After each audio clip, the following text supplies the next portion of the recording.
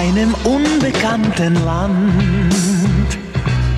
Vor gar nicht allzu langer Zeit war eine Biene sehr bekannt.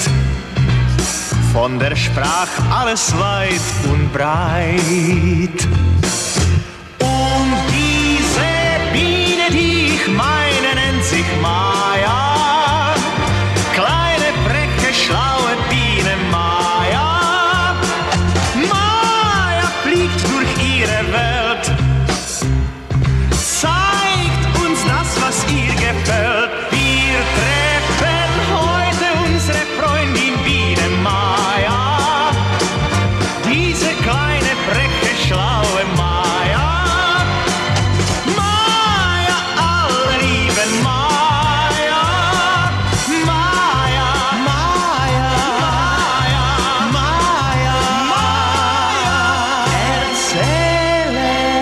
Uns von